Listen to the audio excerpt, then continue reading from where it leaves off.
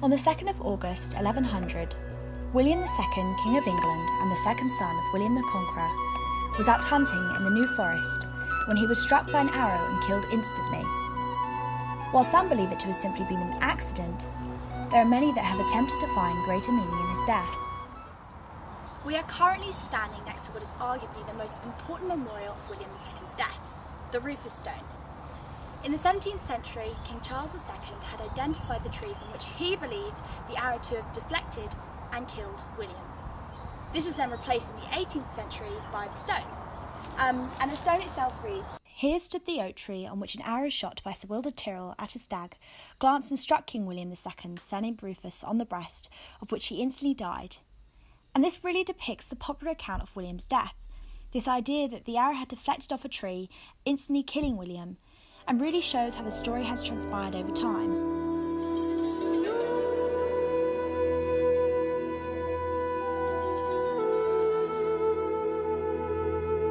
In the Middle Ages, hunting accidents were common. William II's brother Richard had been killed in a hunting accident, and his nephew Richard had been killed in a hunting accident earlier that year. So, if hunting accidents were so common, why did William II's death arouse so much suspicion?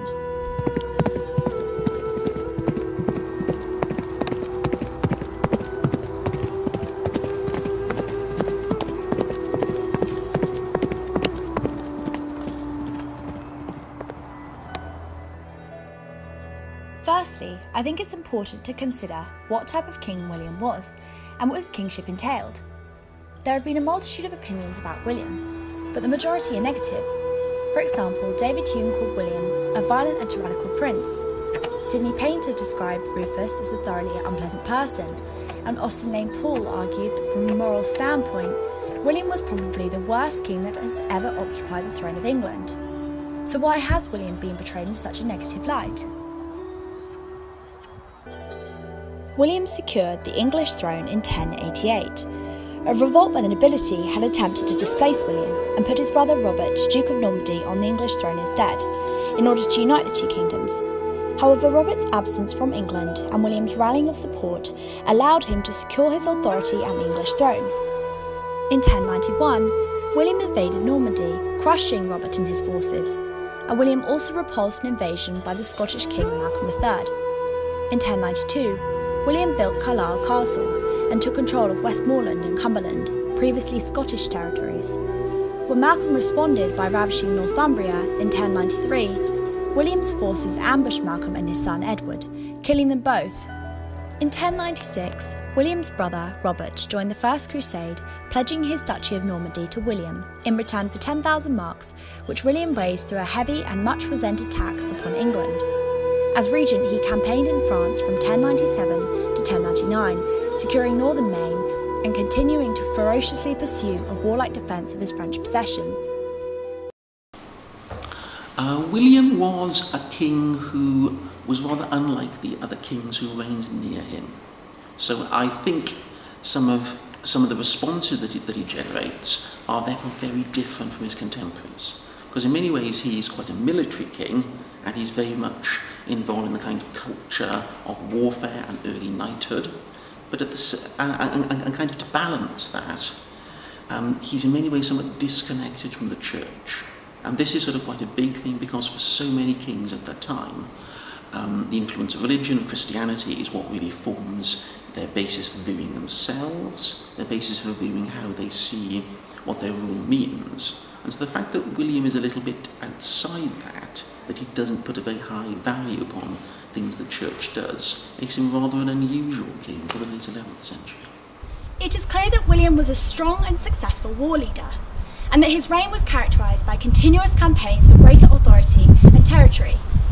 However, in turn, the burden of his wars fell heavily on the English people, causing many to view him as tyrannical. This is emphasised in the Anglo-Saxon Chronicle, where William is characterised as always harassing this nation with raiding and with excessive taxes, and that this was a great injustice to the English people.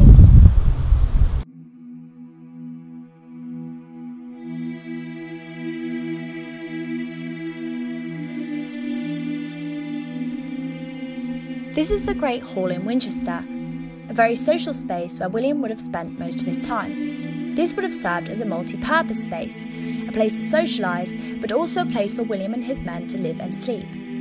To fund this extravagant lifestyle, as with his war campaigns, William would have resorted to heavy taxation.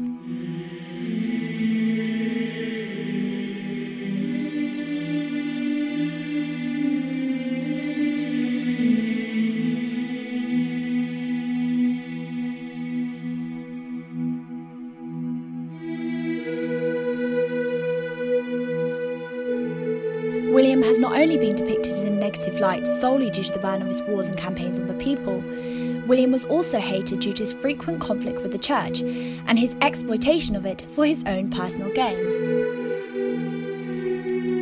In 1089, William lost his father's confidant and advisor Lanfranc, Archbishop of Canterbury.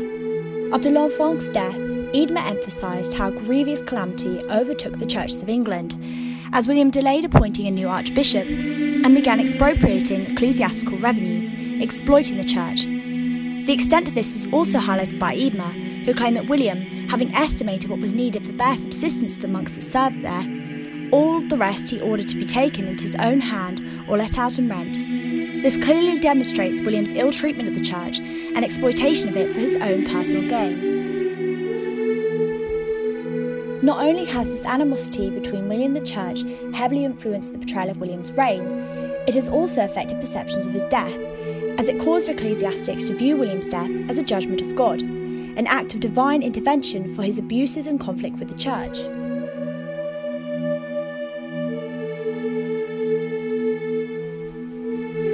For example, Eadmer claimed that when William was struck by an arrow, that it was by the just judgment of God that William was stricken down and slain. Similarly, in the Anglo Saxon Chronicle, William is presented as being abhorrent to God, just as his end showed.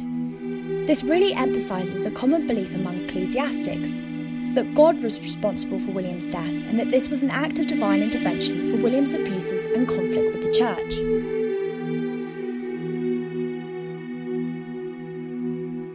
The prophecies of William's death also emphasise ecclesiastics' belief that William's death was an act of divine intervention for his impiety.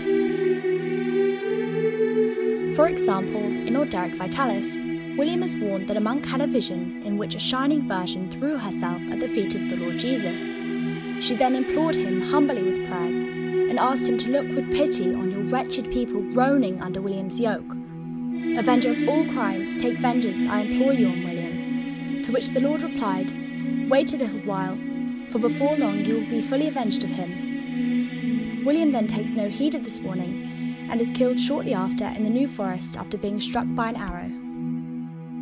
Although this holds little merit as a factual depiction of events, it is an important moral story as it emphasises ecclesiastics' belief that William's death was the result of his conflict with the church and exploitation of it.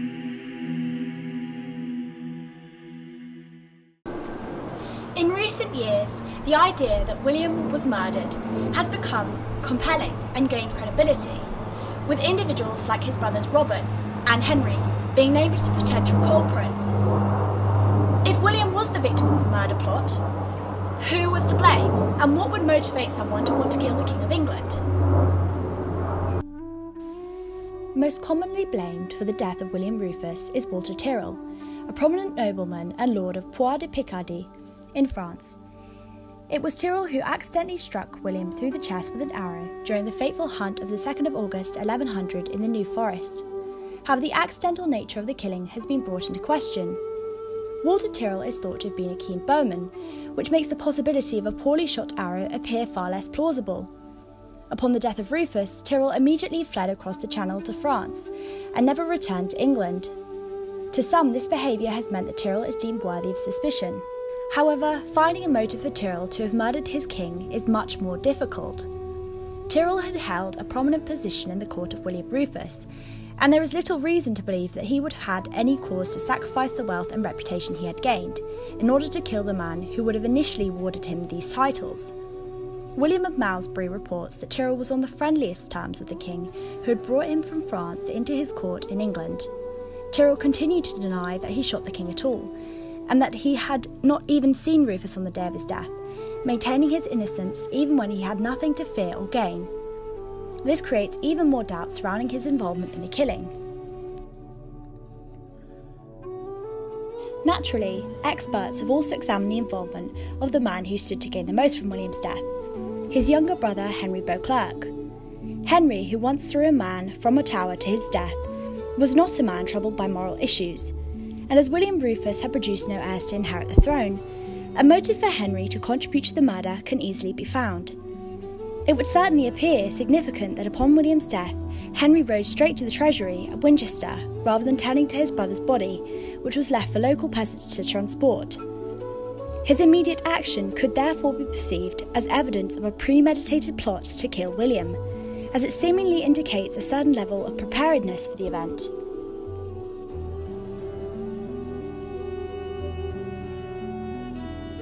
Robert Curthose, Henry and William's elder brother, and therefore next in line for the throne, was on his return to Normandy from the First Crusade in 1100 when William II died, and is thought to have made an arrangement with William before his travels whereby each was the other's heir should anything happen to them. This hasty action from Henry could be perceived as evidence of an effort to secure the throne before it was lost to Robert, who already had a son and therefore an heir that could remove Henry's final chance to gain the throne.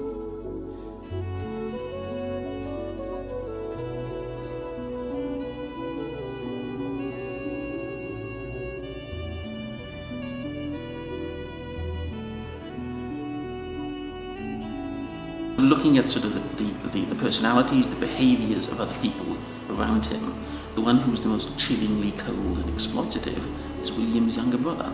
Because Henry, who's the man who succeeds him as king, is someone whose, whose loyalty to his family is quite low. This is someone who imprisons his brother for decades, who allegedly has, has his nephew blinded as a punishment. So family loyalty is not, is not especially high. He's someone who is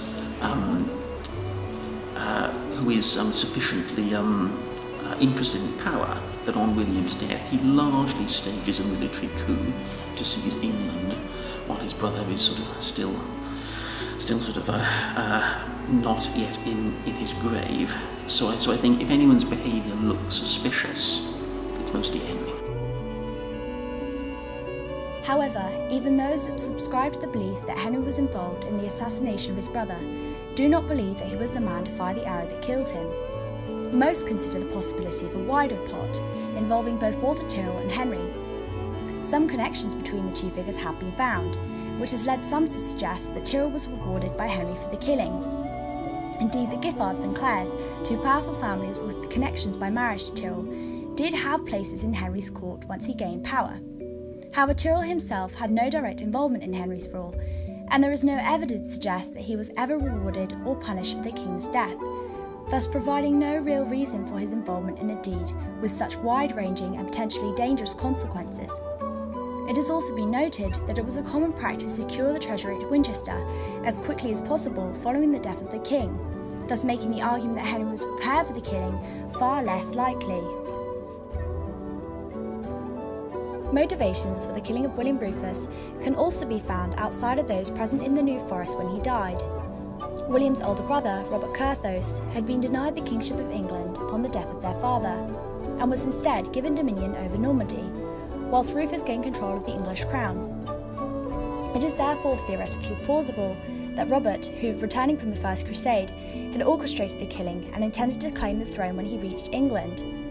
However, there is little to connect Robert and Tyrrell, and since there are no other alternative assassins who are known to have been in the New Forest to carry out this deed, this theory is a purely speculative one.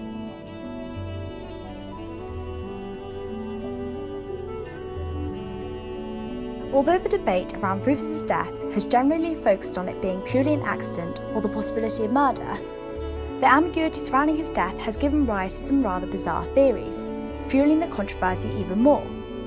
An example of this is the emergence of the witchcraft hypothesis and the involvement of the supernatural being connected to Rufus' death.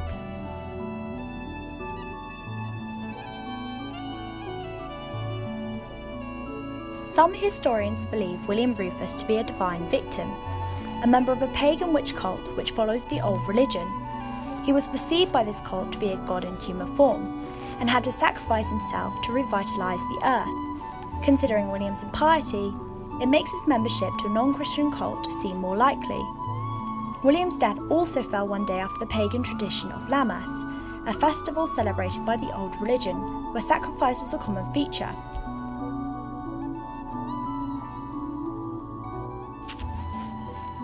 However, despite the attention this theory has received, the evidence used is largely unreliable, with the majority of the evidence used being written several centuries later.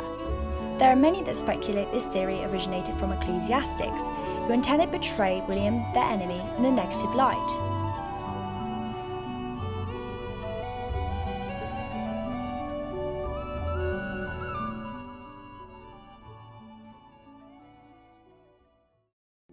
we, we do have a chronicle account that talks about the deathbed confession of the man who shot him, who just presents it as being a terrible mistake and an accident.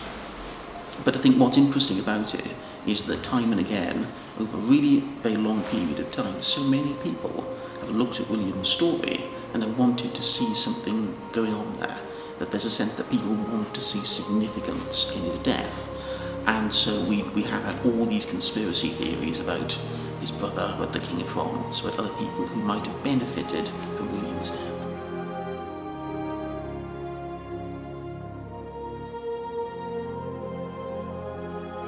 Death of William Rufus generated one of the earliest and most compelling murder conspiracies in history.